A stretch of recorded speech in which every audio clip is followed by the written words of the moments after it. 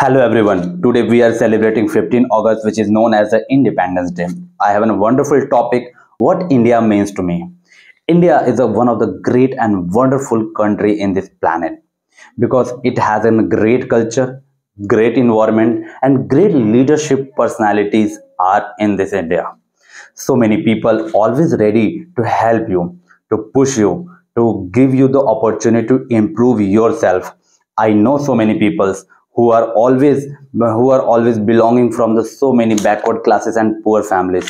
But so many leadership personalities people are come front of you.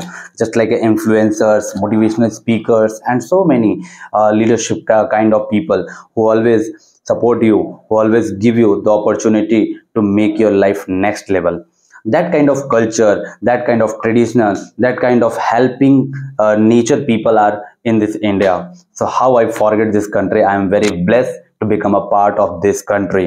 This is my point of view on india means to me. And what's yours